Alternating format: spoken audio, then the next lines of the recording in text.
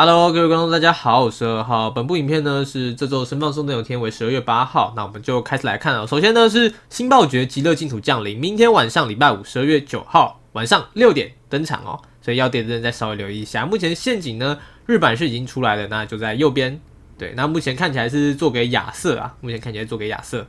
好，然后一样是九宫格，这个就再稍微留意一下。第二个呢是十二月十号怪物弹珠是奖励，那这些奖励呢能换就换。特遇这次的本家就是这个讨魔路啊二啊，这三只我个人觉得都蛮不错，那祝你们歪到哦。第三个呢是未开大地据点四十，十二月十四号开始，这次终于到据点四十。那因为也到了据点四十嘛，所以这次呢也追加新的光未开女神，那就等之后的使用影片跟能力哦。对，这次也变光女神，所以现在剩暗女神还没出。那第四个呢是 B 二十五点一版本更新，是十二月十三号礼拜二晚上就是这个零点哦开始更新。首先第一个呢是我们最近挖宝珠或刷过很困扰的这个履履历队伍，终于有改掉了，终于不用选好队伍，然后不小心点进点到以前队伍，就改版后可以稍微减少这种状况的发生，就是还不错。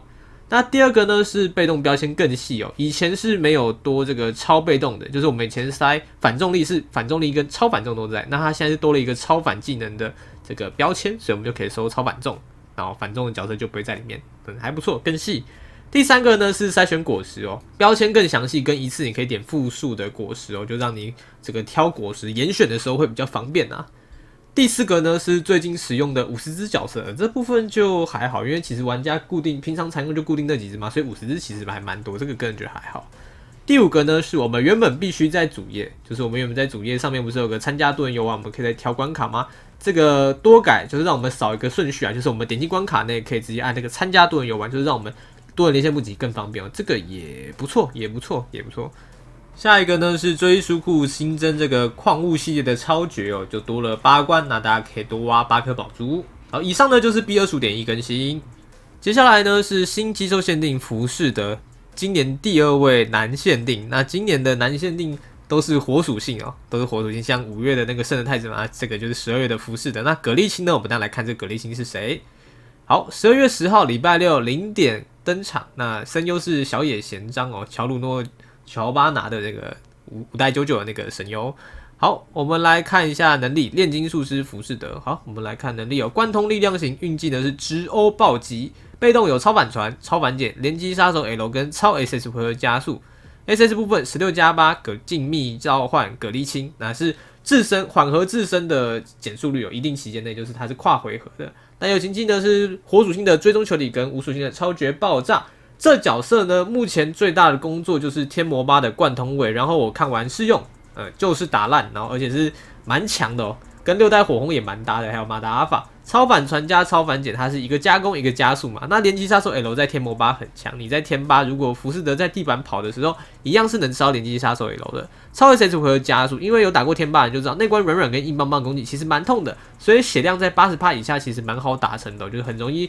一回合负二 CD 啊。那最重要的就是这个十六加八 SS 自身减速率降低，开下去是真的降不少。使用影片撞英一好几下还没停下来，真的蛮猛的。那因为天魔八的糖衣蛮厚的，降减速率能让浮士德多戳几下把糖衣打破。那破完后还能吃到点击杀手野楼，是真的很猛。友情部分呢，追踪球体跟爆炸。追踪球体在那一关主要就是补伤害。那在跑的时候，追踪球体会跟着跑，就阿赖的友情啊。那同时这东西也能吃到点击杀手，不过就比较看场合。不过天八的部分呢，主体还是会靠浮士德的直欧去直接去贬亡，那最终球体当补伤害即可。那么天魔八贯通位浮士德就是最市正等级哦，全对应加上低减速率 SS，真的是蛮强的，蛮霸道的一个角色。下一个形态呢是觉醒者负责，那旁边就是葛丽青，就是他刚刚讲的那个葛丽青哦。好，我们来看能力部分，贯通炮击型运技呢是友情暴击，被动部分呢有反魔法阵、反移转臂、超反减跟反击杀手 L。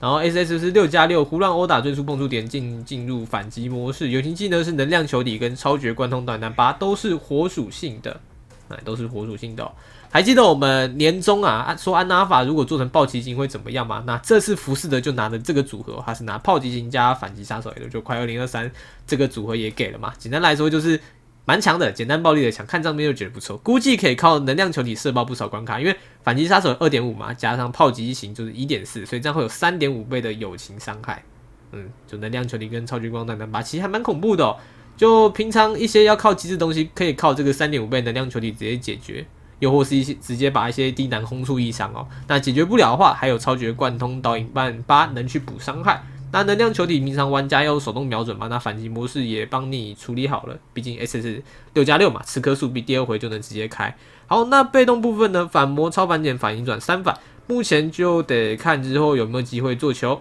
啊，这部分就看米奇心情。嗯，那火影转目前三只台版四只，那除了比才剩下都绝版，所以被动很稀有哦。那反减反魔贯通的部分也是看之后有没有球打。不过觉醒者这个形态啊，因为它的友情伤害上限很高，所以射情光也可以无无视部分线你带上去啊，就是我们带上去靠这个友情开射，可能之后会有很多神奇玩法哦。好，以上是我对浮士德的一些看法。好，那最后呢是该不该抽？因为往年十二月的限定都是比较尴尬的，主要就是这个时间点的问题哦。目前浮士德，我个人是比较偏好这个炼金术士，就戴口罩的那个形态。天八贯通最是正，不过天八目前贯通位有蛮多选择可以用的，就这个时间点有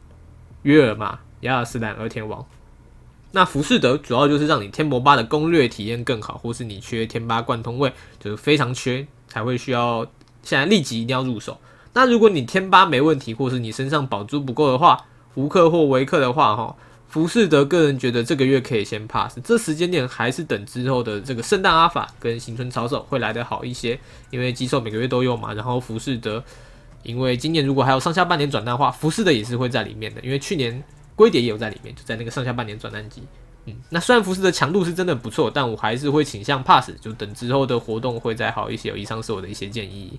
好，接下来呢是本周兽神化改元易经。好，我们来看能力部分哦。反射技能超速度型运气呢是引导。好，超超反伤害臂、反魔法阵、光耐、反传跟冲刺，还有光杀跟超 S 回合缩减，那是放在连吸技能哦。光杀跟超 S 回合缩减。发动条件呢是两体以上自己不同战型，或两体以上自己不同种族。那元婴金的种族呢是武士，所以不太容易撞到。S 部分是二四加四的自强化转贯通变成出敌爆炸哦。好，友情是超强斩击弹跟联合电击。元婴金呢这次受改啊，它从原本兽神化单反就是有超反伤，现在变成三反超反伤反传反驳，能缺的场变多，但是得看之后有没有机会让元婴金蹲到这个三反场，就是三个惊叹号的这个线都对应到这样。那 S 部分是二四加四的贯通转贯通的自强化加处理爆炸，因为有超 S 回合缩减，所以多少可以早点存好哦。友情部分呢是两个都可以吃光杀的超强破超强斩击弹跟联合电击，算还不错的组合哦。整体来说，元已经受改就是强化机体做强化，S 有从原本的雷影石追击变成有自强化加处理爆炸，那友情也算提升不少，就看之后有没有让他机会蹲到哦。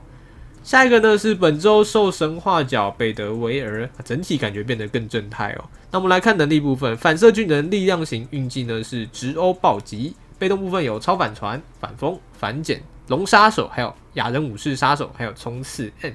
S S 部分是八加八的攻击，先会先变贯通，然后加速，那碰到墙壁的时候会再变反射，就是光乐团的那个 S S。那友情技呢是超绝爆炸跟防御跟速度提升，一个辅助。蛮辅助性质的友情组合啊。好，那兽神化后呢，反传升级成超反传，反风保留，多给一个反减，可以去水魔剑，就是那个咪咪切完哦。雅人杀升级成三杀，武士龙杀手，雅人杀手冲刺小提升到 A。在被动部分就刚刚讲，咪咪切完表现应该是蛮好的。那 S S 部分呢，这个 S S 部分就是。第一下贯通，然后碰到墙壁变反射，这个 S S 看状况，情况对了就蛮好用的 S S。整体来说呢，兽神化后多了近期二十七 B、十七 B 会开二期，还有咪咪切完就这个水魔剑，也许之后会在各处默默出场哦。不过呢，在他兽神话的时候，因为我以前都是用神话那边，因为我以前都是靠他打死去，所以他往那进化那边靠，有点意外，我以为他会保留一点地雷、扫雷之类的。好，接下来呢是东游记兽神话，哇，有没有惊喜？就是今天这个台湾冒险无预警兽神话，我没有想到这三只会突然兽神话，就有点意外啊。不过在宣布东游记兽神话之后呢，有发布一个更新的台版，然后更新的时候是有到将近四千号、四千多位的角色是没有这个被动，他的没有技能是真的没有技能，像我们平常木刀嘛，像我刚刚就有去玩木刀，就就去用木刀去测试。木刀不是有扫雷跟魔法阵吗？它的没有技能是真的连让你扫雷没办法用，那魔法阵也没办法用，所以这个算是一个蛮影响到蛮大的的一个 bug 啊，那就要看官方之后怎么补偿。那上片的时候这个 bug 是已经修好，不过就等之后官方怎么补偿哦，不然这个 bug 真的是有点大，有点大。好，首先第一位呢是我们的吕洞宾哦，那我们来看能力部分，反射巨能、平衡型、运镜的是只有暴击，被动部分是三反哦，超反重、反传送、反应转臂、反击杀手，还有 SS 回合缩减，被动组合算稀有，就是主要有移转臂啊，所以。传送移转臂跟重力移转臂这部分都是在火鼠来说是比较稀少的东西哦。那同时也有反击杀手跟超频，所以伤害面也 OK，就看之后有没有机会做秀。那 SS 部分呢是吃可以吃缩减的小号令，就看倍率给的怎么样哈。友情部分是可以吃到反击杀还有超频的超绝气弹，伤害来说是不错的，就是发出一发嘛。不过伤害可以吃到超频跟反击杀，这样在高难度就是二点二五倍左右的增伤一发。还有全敌超度隐士这部分就是一个辅助友情，如果那里面有蝎子的话就可以用友情组合，个人觉得还 OK。那吕洞宾个人觉得呢，以目前火移转臂的角色来说是还不错，就看之后有没有机会让他蹲到反应转臂的场。火鼠这只个人觉得还蛮好的。下一位呢是我们的蓝彩和，能力部分是贯通巨能、炮击型，运气呢是友情暴击，被动是三反哦，超反传、超反风、反板块，有给到一个杀手、镭射护罩杀手跟火属性耐性。S S 部分是十六加八自强化加使被击中敌人论效果大提升，这个就是倒特 S 的效果。不过蓝彩和这边有注意哦，它有加个大提升，所以大提升的话，这个效果提升倍率会再高一些。友情部分呢是三方向追踪型贯通弹跟全停超强冰块都能吃到镭射护罩杀手。蓝彩和目前主要的工作就是竞技二十六 A，不过如果能早一点受神的话会更好，因为二十六 A 其实现在已经变成尼奥的形状了嘛。那蓝彩和其实以它现在的被动组跟组合，其实。就是缺角的话，还是能这样去讲。嗯，如果他早点送的话，其实可以更好。下一位呢是我们的何仙姑，被动部分呢是四反哦，反射巨能、平衡性运镜呢是护盾，那是四反加解异场哦，对应的场很多很广。要上位的话，就得看何仙姑有没有机会像搞玛瑙那样蹲到四反惊叹号场，才比较有可能上位啊。不然他前面还有个魔术王所罗门，甚至光乐团，就是比较尴尬一点呢。S S 部分呢是八加八的自强化跟自身展开回复领域，就还行，还可以。友情呢是反射冲击波十八跟攻防提升，就有正常的友情组合。那现阶段呢，何仙姑这礼拜因为有庆祝东游记兽神化，所以这周呢这个东游记这三只哦都有运气加九九的加成，刚好十二月十四号有安菲尔的降临。所以，如果你是还没进安菲尔的人，你那天就可以带何仙姑去打，它能多开两箱，多少可以帮助你叠安菲尔的速度就叠得快一点。那这三位呢，是明天中午十二月九号直接解禁，非常的快。庆祝东游记兽神话纪念活动上面送的兽龙玉，然后下面有送三颗宝珠，请记得打。然后庆祝东游记兽神话开的兽神话论这台就不用抽啦，直接存之后的活动就好，就真的不用抽。那刚刚讲的，因为何仙姑嘛，因为明天收成完七天内都有运气加九九的加成，所以还没叠安肥的人可以带何仙姑去帮忙开蛋。然后呢是下周的好运怪物，那下周升放时间呢是十二月十五号，估计就是我们的圣诞阿尔法。那么这一拜我是有被台版那个东国记送的话有惊讶到，因为我没想到哇，居然是这个时间点收成话。那这一拜呢，估计一样就是养草或刷刷成主。那礼拜六等着大家一起玩轮盘，分享轮盘的结果这样哦。好，以上呢就是这一拜神房，那感谢观看，谢谢大家，拜拜。